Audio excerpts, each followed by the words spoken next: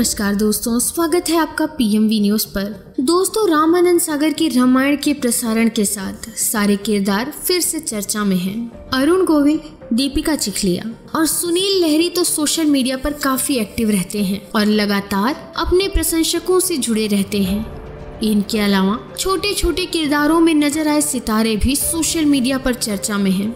ऐसी ही एक अभिनेत्री है सुलक्षणा खत्री, जो रामायण में भरत की पत्नी मांडवी के किरदार में नज़र आई थी बता दें कि सुलक्षणा करीब 33 सालों से इंडस्ट्री में सक्रिय हैं। शो के फिर से शुरू होने के बाद से सुलक्षणा एक बार फिर चर्चा में गई हैं। सुलक्षणा ने रामायण से अपने करियर की शुरुआत की थी रामायण में सुलक्षणा भरत की पत्नी मांडवी बनी थी उनका किरदार छोटा था, लेकिन इस सीरियल ने उन पहचान दिलाई और नए शो दिलाए इसके बाद वो रामानंद सागर के मशहूर सीरियल श्री कृष्णा और अलिफ लैला में भी नज़र आई थी। श्री कृष्णा और अलिफ लैला में तो सुलक्षणा कई किरदार निभाती नज़र आई। कभी वो कोई राक्षसी के किरदार में होती तो कभी गाँव के साधारण ग्रामीण।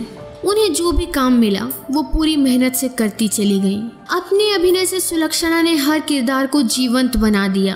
पिछले तैतीस सालों से सुलक्षणा इंडस्ट्री में लगातार सक्रिय हैं। करियर के शुरुआती दौर में सुलक्षणा ने कई फ़िल्मों में काम किया।